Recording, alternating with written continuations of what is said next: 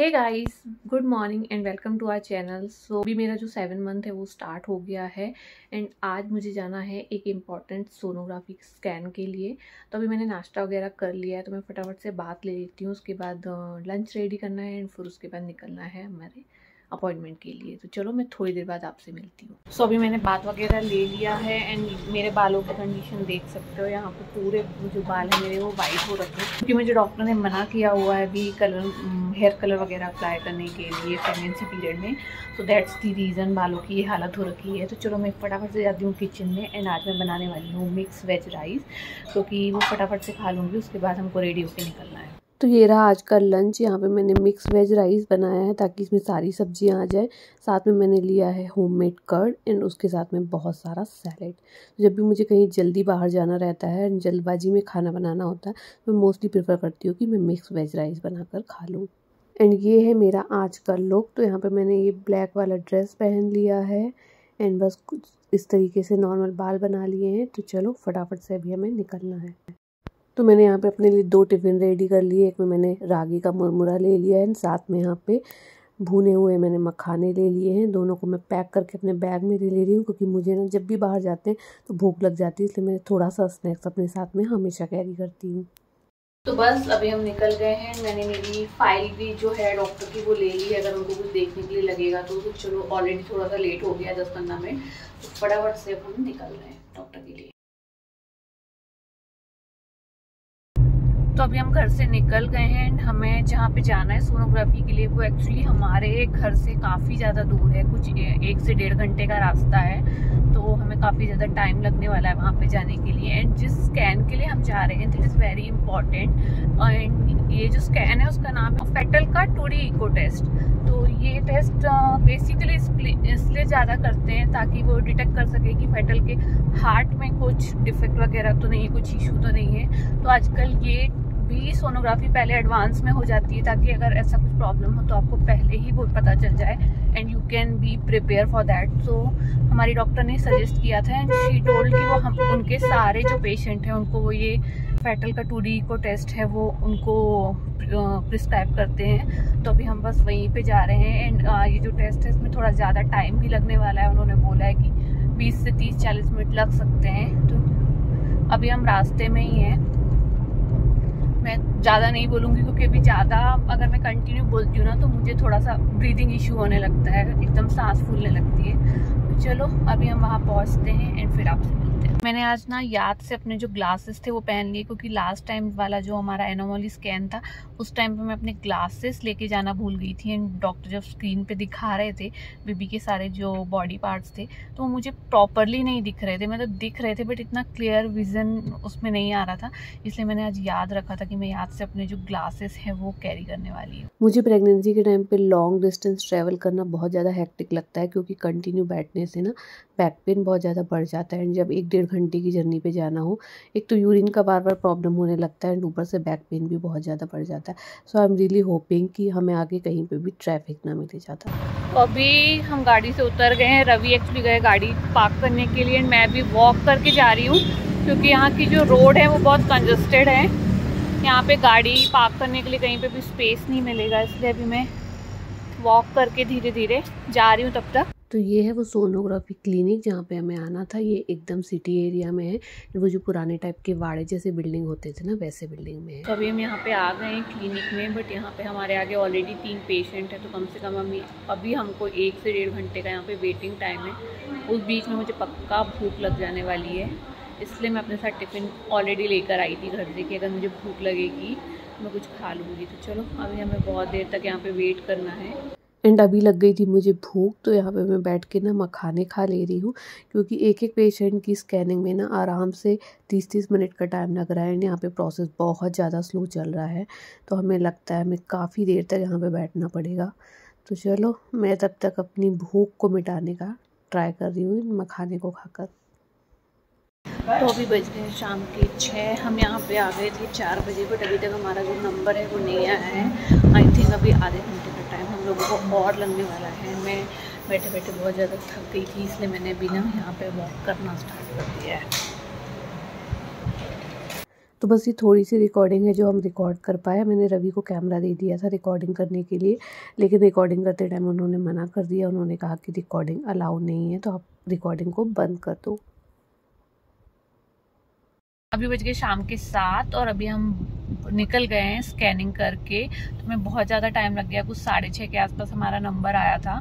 तो लाइक हम आफ्टरनून में फुल धूप में घर से बाहर निकले थे एंड अभी पूरी रात हो गई है तब हम बाहर निकले हैं स्कैनिंग करा के। तो स्कैनिंग की जो रिपोर्ट थी दैट ऑल आर गुड जो टू डी इको टेस्ट था पेटल का, वो स्पेशली हार्ट के लिए था। हार्ट को चेक करने के लिए कि हार्ट में कुछ इशू तो नहीं है। तो हमने डॉक्टर को पूछा कुछ भी प्रॉब्लम नहीं डॉक्टर ने कहा सारा सब कुछ अच्छा है। सो so, एक्चुअली मुझे जब भी मैं स्कैन के लिए जाती हूँ तो मुझे थोड़ा सा एक अंदर से डर लगता रहता है कि सब सही निकले कुछ कुछ प्रॉब्लम ना हो।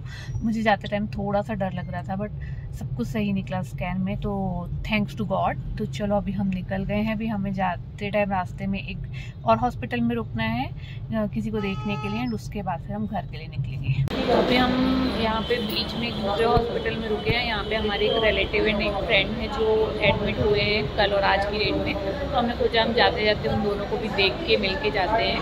तो भी हम यहाँ पे हॉस्पिटल में आ गए हैं उन्हें फटाफट से मिलेंगे, उसके बाद निकलेंगे।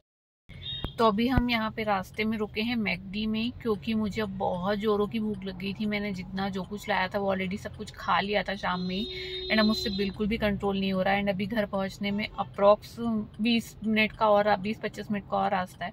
But now my hunger is out of control so I told Ravi कि मेरे को फ्राइज़ खाने हैं। तो अभी हम मैकडी में आए। मुझे जब भी ऐसे कुछ बाहर का खाने का मन करता है ना तो हम लोग हमेशा मैकडी में ही आते हैं। मैं प्लेन वाले जो फ्राइज़ है ना, वही बस खा लेती हूँ, क्योंकि मुझे डॉक्टर ने बाकी बाहर का सब कुछ ऑयली स्पाइसी फ़ूड मना कर रखा है। तो अभी रवि गए हैं बाहर मैगडी में फ्राइज़ लेने के लिए। तो आई एम जस्ट वेटिंग कि मेरे फ्राइज़ आ जाएँ। मैं फटाफट से खाऊँ क्योंकि मुझे अब इतनी ज़ोरों की भूख लग रही है ना कि बिल्कुल आउट ऑफ़ कंट्रोल जा रहा है सब कुछ। तो मैं अभी अपनी फ्राइज़ खाने वाली हूँ। एंड घर जाने के बाद मैं आप लोगों को अपनी रिपोर्ट दिखाऊँगी क्योंकि हम वहाँ पे ज़्यादा रिकॉर्डिंग नहीं कर पाए सोनोग्राफी का क्योंकि उन्होंने कहा कि रिकॉर्डिंग वगैरह अलाउ नहीं है इसलिए हम ज़्यादा रिकॉर्डिंग नहीं कर पाए। तो हम मैं आप लोगों को अपनी जो रिपोर्ट है वो घर जाके बताऊँगी कि रिपोर्ट में क्या क्या है एंड कैसी क्या स्कैनिंग उन्होंने हार्ट की स्पेशली जो स्कैनिंग है ना वो की है बहुत अच्छे से। तो उन्होंने बेबी की हार्ट बीट कई बार सुन के देखी हमें सुनाई।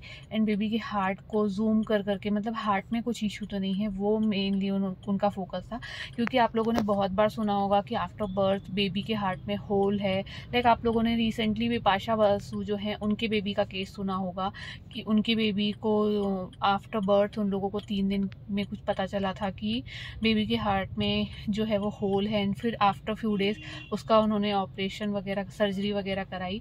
तो वो सब इशू मतलब एनी हाउ अगर हार्ट में कुछ प्रॉब्लम है तो आपको आगे ट्रीटमेंट लेना ही पड़ेगा but you should know in advance तो आप पहले से ही प्रिपेयर हो सकते हो उन चीज़ों के लिए। दैट्स वाई ये स्कैन किया जाता है कि आपको पहले ही पता रहे कि कुछ ऐसा इशू तो नहीं है बेबी के हार्ट में। तो thank God and I am really graceful to God कि मेरे बेबी के की जो सारी रिपोर्ट है वो एकदम नॉर्मल है। डॉक्टर ने कहा, सब कुछ अच्छा है, कुछ भी प्रॉब्लम नहीं है। तो थैंक्स टू गॉड क्योंकि मैं बहुत डरी हुई थी ये वाली स्कैन एक्चुअली मैं जब भी सोनोग्राफी के लिए जाती हूँ ना, मैं हमेशा थोड़ी सी डरी हुई होती हूँ। तो चलो, मेरे फ्राइज़ आ रहे हैं I am waiting for that and ये फाइनली आ गए मेरे फ्राइज़ चलो, मैं फटाफट से खाती हूँ, क्योंकि मुझे लग रही है बहुत ज़ोरों की भूख। मतलब मैं ना, है ना, पूरी प्रेगनेंसी में सिर्फ़ बाहर से फ्राइज़ ही फ्राइज़ खाई है। मतलब मेरे बेबी को या तो ना फ्राइज़ बहुत पसंद आने वाली है, या तो वो बिल्कुल भी फ्राइज़ पसंद नहीं करेगा, क्योंकि उसकी मम्मा ने बहुत फ्राइज़ खाई है। तो हम दस बजे के अप्रॉक्स आसपास हम घर आ गए थे बट मैं बहुत ज़्यादा थक गई थी। मुझे भूख भी इतनी देर लगी हुई थी तो रवि ने आज अंडा भुर्जी बनाई, रोटी तो ऑलरेडी बनी रखी हुई थी। हमने फटाफट से खाना खाया एंड अभी मैं थोड़ा सा बैठ गई हूँ आराम से रेस्ट करने के लिए, क्योंकि पूरा दिन से बाहर हैं तो एकदम से अभी थर्ड टाइम से स्टार्ट हो गया तो जल्दी ज़्यादा थकान हो जाती है। तो बस मैं आराम कर रही थी। एंड मैं आप लोगों को बेबी का सोनोग्राफी का रिपोर्ट भी दिखा देती हूँ। तो सब कुछ नॉर्मल है। मैंने आने के बाद पहले मतलब मैं जब भी डॉक्टर के यहाँ से आती हूँ सोनोग्राफी का स्कैन करा के, मैं पहले बैठ के भले ही कितनी भी थकी हुई हूँ ना, मैं पूरी रिपोर्ट पढ़ती हूँ। तो मैंने वो रिपोर्ट वगैरह पूरी पढ़ ली है। सब कुछ नॉर्मल है। हार्ट वगैरह नॉर्मल है। बाकी भी जो बॉडी बॉडी के सारे पार्ट्स वगैरह हैं ऑल आर नॉर्मल सो ये आप देख रहे हो? ये। तो ये सारी ये जो हैं, ये उन्होंने स्कैन निकाले हैं बेबी के एक एक बॉडी पार्ट के। देन ये पूरे स्पाइन वगैरह के हैंड के लेग्स के हेड के एंड सारे ये पूरे स्कैन हैं। तो मेरा आप लोगों को एक सजेशन है कि आप जब भी सोनोग्राफी प्रेगनेंसी वाली स्पेशली करा रहे हो तो आप थोड़ी अच्छी जगह से कराओ, क्योंकि वहाँ पे आपको चीज़ें अच्छे से पता चलती हैं। तो भले ही थोड़े से आपके पैसे ज़्यादा लग जाएँ बट आपको उस टाइम पे जो सोनोग्राफी है, वो थोड़ी सी वेल नोन जगह पे अच्छी जगह से करानी चाहिए। इनफैक्ट डॉक्टर भी आपको बोलते हैं कि आप जो सोनोग्राफी है, वो थोड़ी सी अच्छी जगह से कीजिए। एंड ये है हमारे बेबी के पिक्स तो ये थ्री डी इमेजेस हैं बेबी के। बेबी ने एक्चुअली पहले इस तरीके से ऐसे हाथ रखा हुआ था। बाद में उसने अपने हाथ दोनों इस साइड पे ऐसे रख लिए। तो ये उसके कुछ थ्री डी इमेजेस हैं। ये देख के आई सो हैप्पी जब उन्होंने ये देखा है तो मुझे बहुत अच्छा लग रहा था। एंड इनफैक्ट जब वो बेबी की हार्ट बीट सुनाते हैं जब भी डॉक्टर के पास जाते हैं विज़िट के लिए, ऐसा सोनोग्राफी के लिए जाते हैं जो वो बेबी की हार्ट बीट सुनाते हैं, उसे सुन के बहुत अच्छा सा फील होता है। तो बस, ये है मेरी सोनोग्राफी की रिपोर्ट बाकी जो भी रिपोर्ट में है, सब कुछ नॉर्मल है, उन्होंने लिखा हुआ है। एफ़ आई लेवल प्रेसेंटा की कंडीशन जो है, सब everything is normal so I am happy and relax thanks to God तो बस गाइस आज के ब्लॉग में इतना ही था। मैं बहुत ज़्यादा थक गई हूँ तो अब मैं आराम करूँगी। जल्दी मिलूँगी आप लोगों से अगले ब्लॉग में। तब तक के लिए keep watching my channel channel को अगर सब्सक्राइब नहीं किया है देन मेक श्योर कि आप चैनल को फटाफट से सब्सक्राइब कर लो। Do share this video with your friends and family तो जल्दी मिलेंगे हम अपने अगले ब्लॉग में। तब तक के लिए bye take care good night see you soon